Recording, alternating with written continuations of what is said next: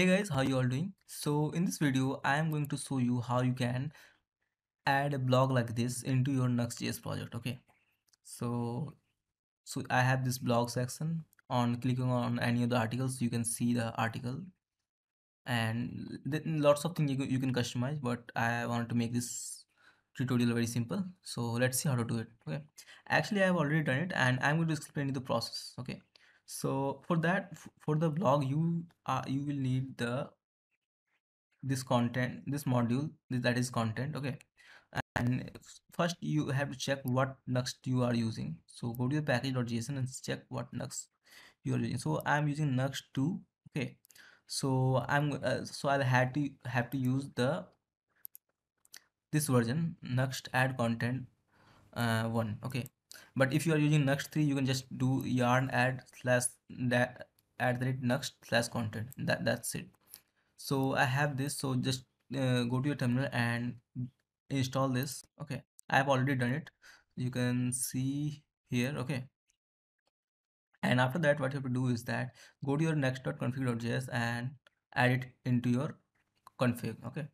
So after doing this what you have to do is make a folder with the name content and inside that make a, a folder name articles. Or if you want you can just write all the content here. It supports lots of things. So for example it supports .md file .json file .csv and all that. Okay. So i want to make it simple. So i have added md file. So as you can see here this is how you can write. You can uh, you don't need author if you if you don't want it. Mainly you need these two things title img and description okay? This thing and after that you can uh, write all your articles like this. And after, after like doing all this what you have to do is that you have to make a route. So in nuxt just to make a route you have just have to make a folder okay? So in in in my pages section i made i made a folder called blog. So now i can access my blog route okay?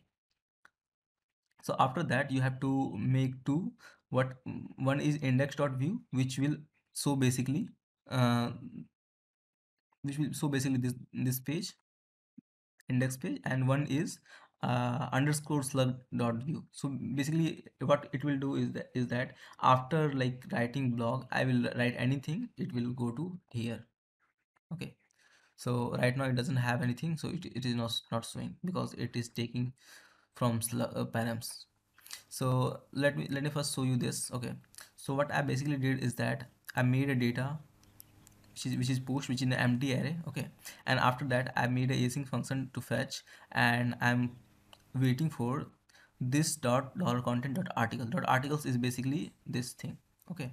And after the fetching this i just console log and after that what you have to do is that here you can uh, iterate with for the articles. So here i've done v-for post of posts post and key is post dot slug and here i have post dot title and image and description. Okay. Simple as that. So this is basically your blog page this one. And on clicking of any of this what you can do is that here I have slug dot value so basically what I have done here is that I made a, a wait this dot content same thing. And here I have taking the slug which is basically coming from the params. This thing. Okay. So I don't worry I'm going to share the code with you. So you don't have to worry about anything. Okay. So and I have limited with the one to one. So right now I'm getting just just the one post from the slug. And here you can use head function if you want to make for optimize it for SEO here I have title and here I have made a description as well. And here you can just do this v if post. If post is coming then you can show, show the title. And here this is the main thing. Nuxt dash content and document is to post. This is the main thing. This, this will come with all the all this thing and if you want to opt uh, to customize anything like h1 h2 you can just do it in in your style okay? So this was it. This was a really quick video. I hope you like it. And yeah thank you for watching